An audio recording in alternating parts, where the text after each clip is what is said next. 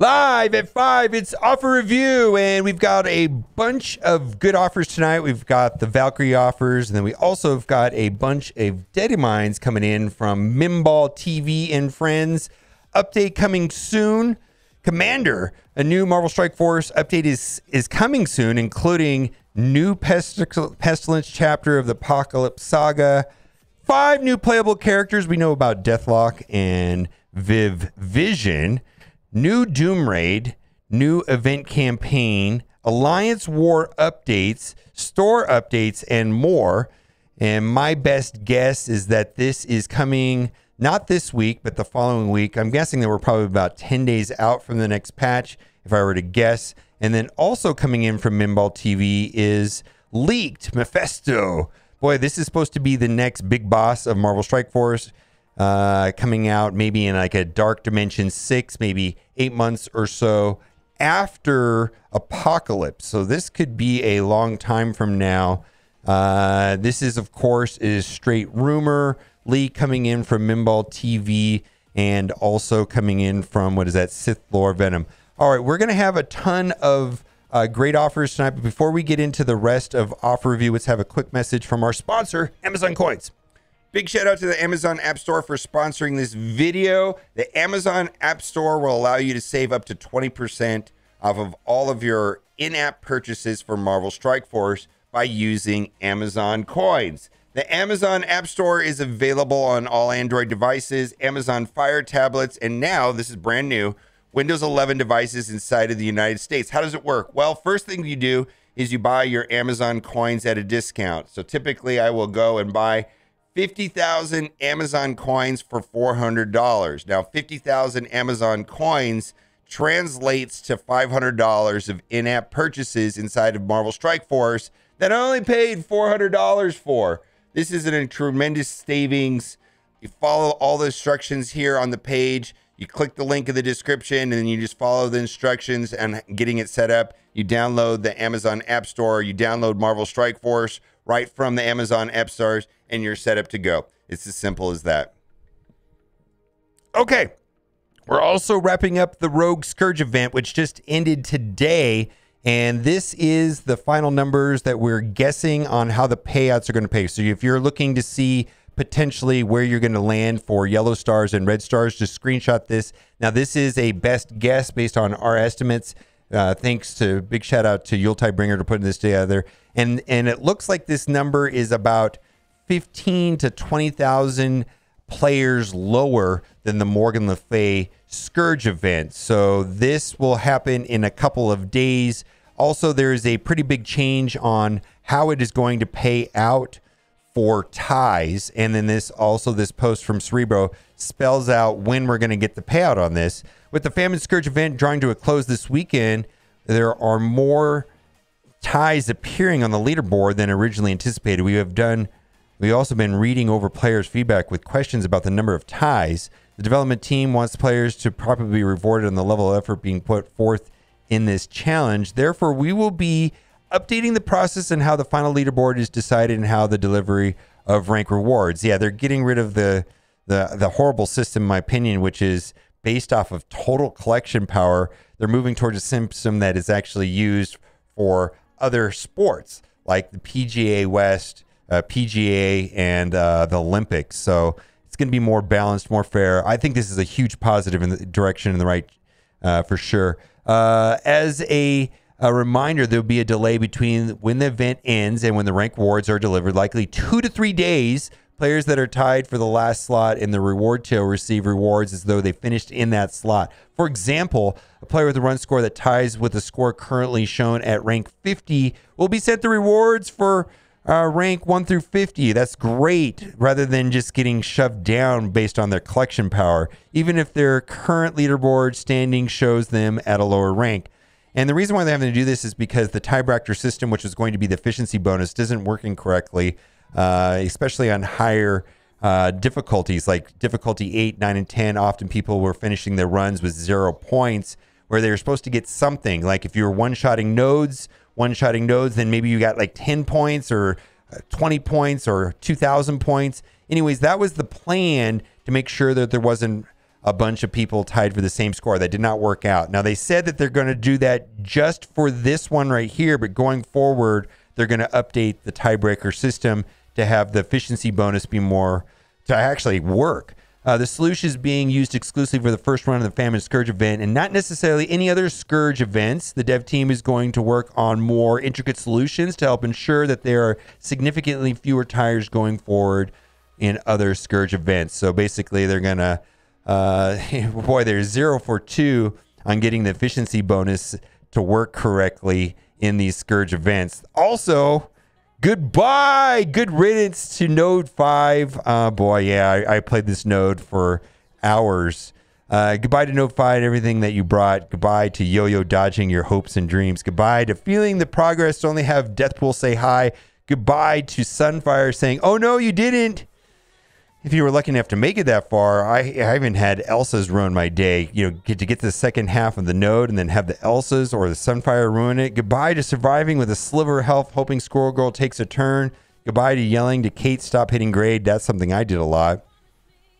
Goodbye to Zemo, uh, knifing the target you don't want. Anybody else, just just anybody else. I, I always got mad when he would go after uh, Ms. Marvel first. Goodbye to the hours and even days of frustration. Goodbye to infinite resets where Doctor Strange only saw one possible winning outcome. The other one that, that got me really bad was that I, I wouldn't last wouldn't land the defense down on Heartless Doctor Strange, and then I didn't have enough DPS to get through him. So I'm glad we're through it.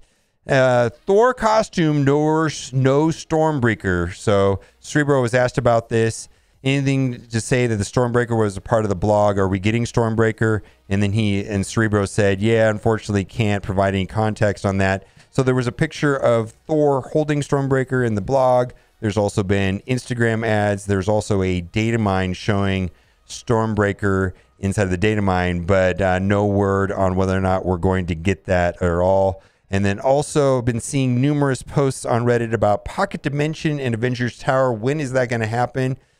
It's been a minute since these events were back, or maybe they'll come around after the Scourge event events. I feel that that is true. If we don't get it this patch, it'll be next patch.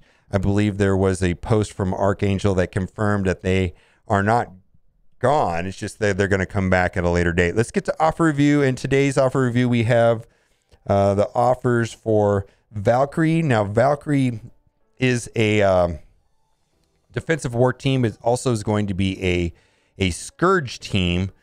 And I, am also going to use them on Crucible, right? So I'm, and she, as far as the kill order goes, when you're playing against the Hero as guardian team, if it makes the most sense from my point of view to attack her first because she's the one that has that, you know, they all go back to full health and they get all the boosts, all the bo- the boosts and the buffs, and so you kind of want to take her out first. And so that being said, uh, I'm going to be trying to get five reds on her when I do my red star pulls here in a little bit.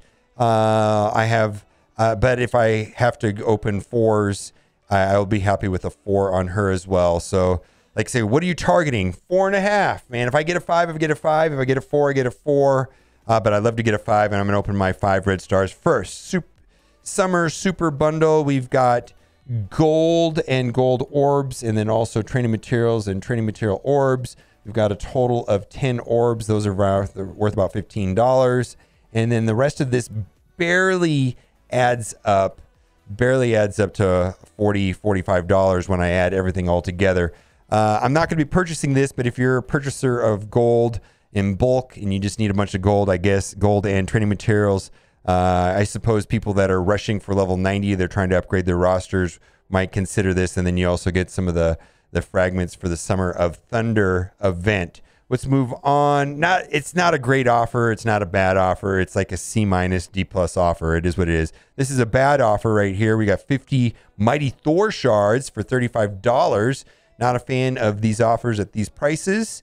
And then right here, we've got the standard Valkyrie new character offer for gold 1 million gold and 4 gold orbs at $10. I bought this in the past. Not going to purchase it today because right now I'm more of in a hoarding mode until the next Scourge event comes around. But right now, I'm uh, not really acquiring this. Now, if you're needing a bunch of gold because if you've gone up to level 86, 87, 88, uh, then you know, then I suppose they, these are going to sell very well. And then right here we've got the the ability orbs, 240 T3 ability orbs is not a great deal for ten dollars. Last week we had the five dollar offer, which was the Legacy Two orbs, and those orbs right there, that particular offer for five dollars, paid out more than 350 T3s uh, on average. So this is not a great deal. Then we've got the training material offer that complements the gold orb. I do like this right here as well. We've got uh, 50 L4 training materials and five training material orbs for $10. I'm a big fan. Pretty much all the gear offers I think are trash. Not a fan of any of these offers right here.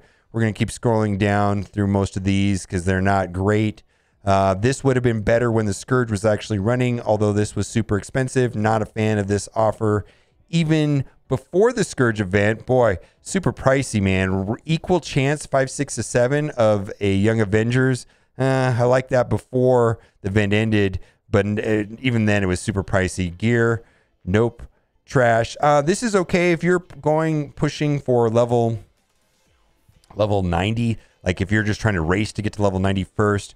Uh, I value 3,000 energy at $15 and 200 cores, about three bucks. So that adds up to about $18. So not the worst offer. Uh, this is trash. I value gold, uh, red star orbs at a buck and a half a piece. So we've got 14 orbs there. So 14 orbs does not add up anywhere close to 50 US dollars. Uh, trash. This is, I just can't get wrap my head around their T4 pricing to max out a character. I believe you need 780 T4s. Uh, I'm, I'm, making that number up. I believe it's 780. Uh, it could be but anyways, so you'd have to buy this offer four times, so there'd be eighty dollars just up there with the T4s on her. Let alone that doesn't sound like a good deal to do the the basic, you know, twenty bucks just to upgrade her basic. No, thank you. Trash.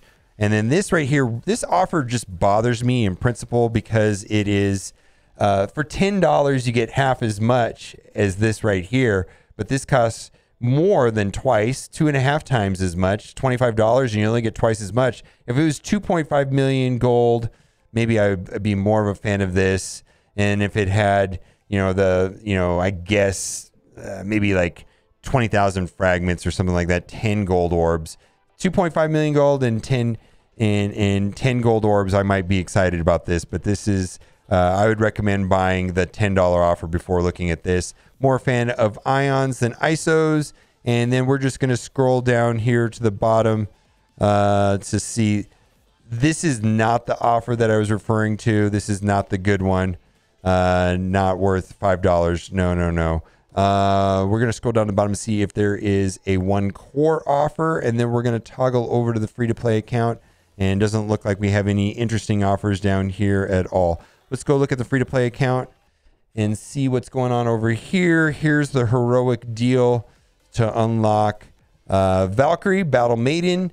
So you got a $25 offer or a $50 offer uh, to get her up and running. I believe she is a 45 character shard unlock, so you should be able to unlock her easily with the $25. Now we're looking for offers here that are unique to this account and see if there's any character shard offers here worth talking about. And then we're going to wrap up offer review.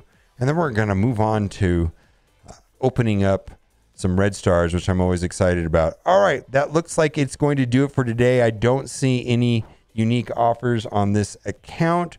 And so let me know what you think about all of that. And as always, thanks for watching and keep on gaming.